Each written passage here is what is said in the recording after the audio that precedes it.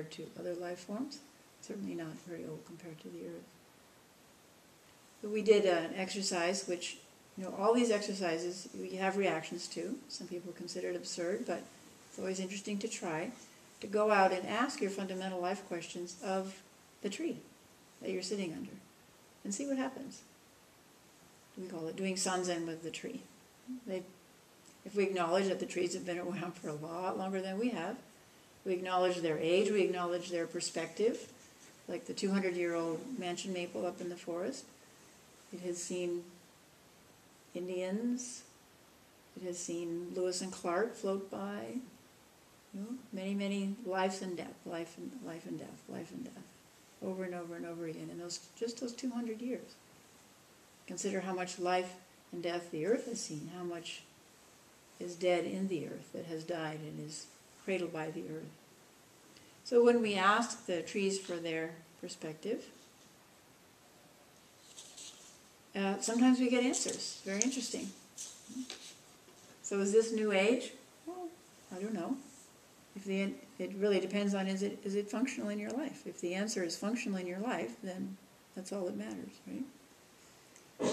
So whether the tree is answering, or whether like a crystal ball or a tarot card, this is just a way of quieting the mind so that we can tap into wisdom beyond wisdom, so we can tap into the eternal wisdom, into Prajnaparamita. It doesn't really matter. We do know that by focusing and quieting the mind, that's possible. So maybe that's the way it works. Doesn't matter as long as it works. Mm-hmm. Any way that we can move out of our narrow human mind, get out of the way, helps us to access true wisdom, eternal wisdom, meaning it is has no beginning and no end, but it also applies eternally. So it doesn't matter if you're a Neanderthal, if you're a, Japanese man, or if you're um, an American teenager, the wisdom is the same. If it changes our life, and as a result, if it benefits us and others around us, then that's wisdom or that's compassion. The wisdom and compassion are intertwined. Hmm? So when the tree appears to respond to us, that's compassion, that's loving kindness, that it's helping us. Some people mentioned the magic that happens at the monastery. This is something we have begun to take for granted, but then a new form of it appears, and it's always interesting how the person you need for a job that's just come up tends to appear. One form of that magic. Uh, but many others when we put the rational mind on hold, the skeptical mind on hold, and just allow for possibilities. So this can happen to people. It appears to be magic uh, when they break from old habit patterns. Ways that the mind's neurosis about keeping us from harm and keeping us from dying. And you really look at thoughts, so much of it is preoccupation with how can I keep this person from harm? And how can I keep them from dying? Or how can I keep them from getting in trouble? How can I find some solutions to make them happy? So that's the, the mind's continual concern, which is brilliantly unfolded during a sesshin in the silence of sesshin. So how can we break from these old constrictive habit patterns, this prison bo- we've boxed ourselves gradually into? We use the term liberation in Buddhism a lot. You hear about liberation.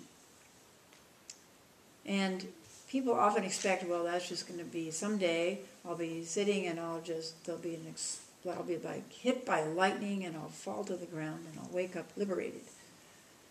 Well, there are some interesting uh, sudden experiences that happen, not, not in that way, but sudden uh, insights and awakenings. But there are, there are also many small shifts. So my analogy is it's like an earthquake. An earthquake doesn't just happen. There's lots of little signs that the geologists pay attention to, that the earth is shifting, little subtle tremors, right? That the plates are moving and tension is building up and little slips. And so that's as much a part of liberation, those little changes, those little slips, as a big earthquake in practice. So liberation means exactly freedom from those old ways of thinking and acting that were once useful, that once maybe saved our life. And then once we're free of them, we have freedom to explore more of life, other ways of doing things. So I'll ask people to just give us a couple of brief examples. So Andrew, I'm going to ask you about art. So what, what was your old Uh, I used to, um, yeah, I used to absolutely hate doing art, uh, art class at, at school. I used to get in there and just fuss around with my mates instead of doing any, any work. And uh, so we, did the clay modelling thing. Got And what, and what was the reason you just mess around in art clubs with your mites? Why, why, what was your, what was your mental attitude towards art? just thought it was stupid. Stupid. Hated. You hated it because? Um, I don't know. I guess I thought it was a bit girly. Girly, okay? So boys don't do it, Yeah. right? Yes, stupid. Okay, so then he comes to Sesshin and lo and behold, we're doing art Yeah, so I, thought, right, I'm going to go. I hate this. I'm leaving. I saw a car driving away, and I thought, right, yeah, I'll, I'll pack my stuff. And then, sort of five minutes later, I thought, actually, realistically, I'm, I'm not leaving, am I? Um, So there, that was good. That was good. He asked the question, is this true? Is this absolutely true?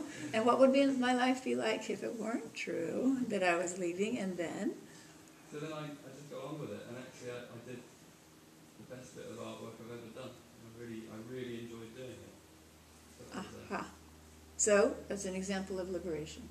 See, very simple. But now he's free to do artwork if he wants to, for the rest of his life, to explore that whole realm which was previously shut out of the little box called Andrew.